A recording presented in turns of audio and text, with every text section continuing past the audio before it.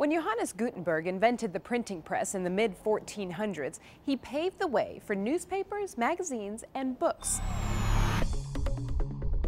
More than 500 years later, a new technology is potentially poised to transform the way we read electronic ink.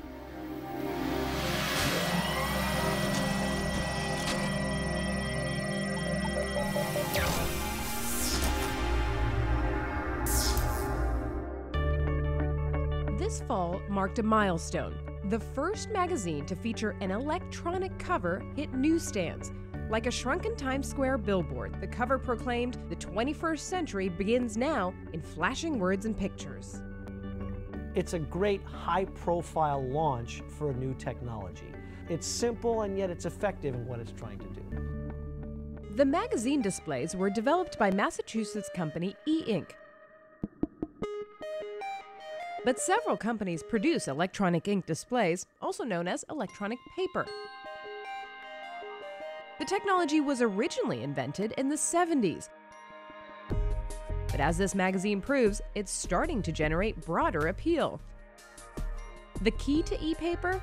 Microcapsules, thinner than a strand of hair. The basic concept with both electronic ink and electronic paper is you have a display back plane and you have this special ink material. And what happens is when you provide a small charge to the individual particles, kind of like pixels on a screen or dots on a printer, they turn on. They essentially go from a white state to a black state.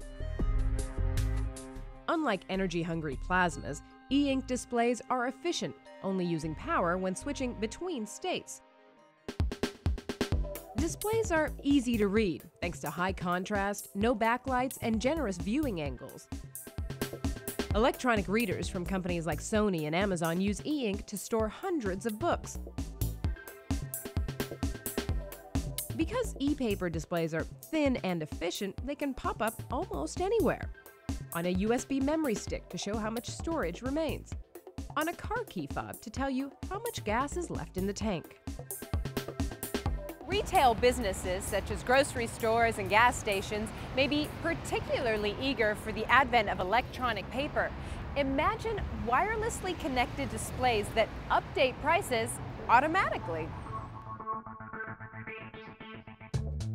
In a snowstorm, newspaper deliveries may be delayed, but e-ink could make walking to the mailbox for the morning paper a dated ritual.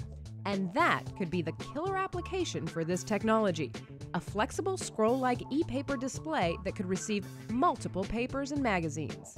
The goal is to develop a flexible backplane, again, the part that the ink sits on, so that you could bend it or even roll it up. So you can imagine having a, a pen that you would pull out a screen, which would be very cool.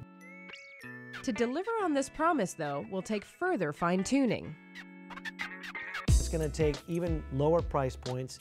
It's going to take the ability to be used in devices that no other display can work in, and it's going to take color and video. So all of those things are happening, and I think we will see them. But again, it could be five, six years before we actually have a bendable, color, video capable display. Say goodbye to newspaper ink stained fingers. The future of ink is fluid and limitless. From price tags and magazines to billboards and more, electronic ink could transform displays as if by magic. For BNet, I'm Sumi Das.